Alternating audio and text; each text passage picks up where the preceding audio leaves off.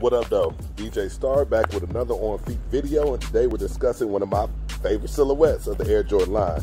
But before we get into that, please subscribe to the channel and hit that notification bell so you know when I'm dropping new content. And also, please like, comment, and share on the videos. That's the best way to support the channel. Um, it's the free way to support the channel, and um, it helps me grow. So, with that being said, we're going to discuss one of my favorite Air Jordans of all time and one of my favorite colorways of all time.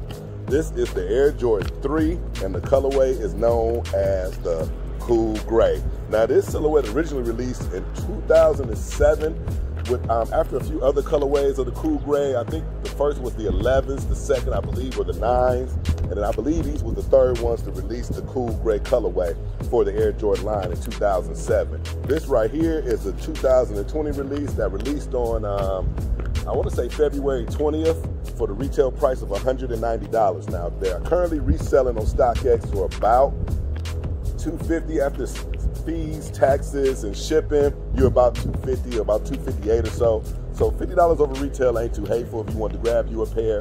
Um, I didn't look to see what the um, actual selling was. It's probably a lot lower than that, so you're probably just better off holding on to them. But I definitely wanted this shoe on feet.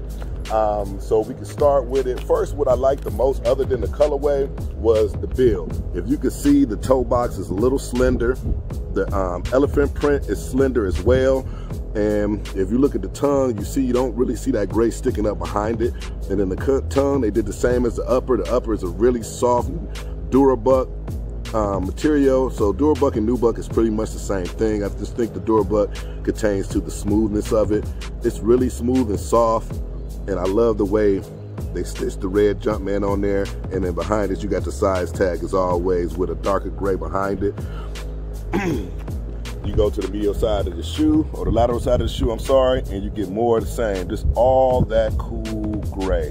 And it is so beautiful and it's really nice and soft to the touch. Um, you can see the orange peel right here. Um, I've got it blocking here as always. You know I'd had to do a lace swap fat laces. Um, I'm gonna get into that a little bit later. But you see that right there, it's just all smooth texture. You got your perforations right here and your perforations right here, all done in the dark gray. Your outsole is done in the dark gray with the white midsole right here, more darker gray. And inside here, they did do it in the orange peel, which I thought was pretty dope.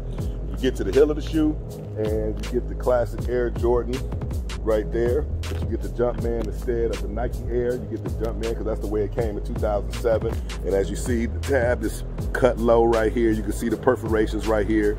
You see it done with a touch of that red and orange peel of air. And then you get that elephant print all around it. Like I said, a lower cut, more, more adjacent to what the original was in 2007, what the original retro was. And they just did a really clean job of this. And then you get to the outsole and you get your classic Air Jordan 3 outsole, but you get it done in that dark gray with a hint of right and then that red in the middle for the Jordan. Again, remember, if you got a Jumpman on the back, you're gonna have a Jordan on the bottom. That's just the way it works. And it helps you differentiate what's what's OG and what's not, kind of sort of. Because nowadays they kind of throw the Nike Air on stuff they just want fan service. They want fans to buy people to buy. Um, I'm not sure if these pairs were limited, but it was a, a kind of hard cop. I did cop these manually. I had lost in all raffles as usual. Um, SNKRS took an L as usual, but I was able to get it on Finish Line through a manual cop after sitting in the waiting room, and it took them literally a whole week to deliver them. So I didn't even get my pair until Saturday. So I ordered on Saturday, I got them the very next Saturday, which was weird. Usually Finish Line, I'm in the Midwest in Ohio, so Finish Line um, distribution center is in Indianapolis, and that's really like an hour and away from Ohio. From where I live in Ohio, it's only an hour and a, hour and a half away.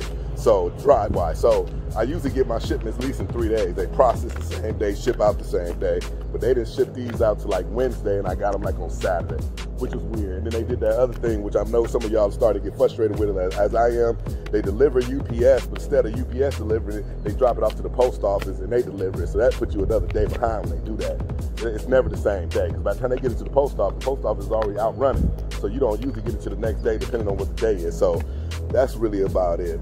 Medial side is more the same, just that smooth, cool gray look. And these are very, very comfortable. Actually, I was surprised. Air Jordan 3s are really comfortable for wide footers like myself, but these are supremely comfortable. like um, really comfortable. I mean, they're really loose and comfortable. I think it's because of that Durabuck is really soft, so they give a lot, and it's like almost like wearing a slipper, which is, know, not uncommon for Air Jordan 3s. They are comfortable, but usually not this comfortable. And actually in these, I still can't feel that air because that air again is encapsulated in the midsole, and that byline. So you can't really feel it, but it's still comfortable without the feel of it. I could tell though if it had busted or the L defective or something, you can tell because the back end feel like a brick. But I'm not hooping in them, it's just casual wear. So there you have it. So other than that, man, I'm gonna close up here. So again, please subscribe to the channel hit that notification bell for your boy.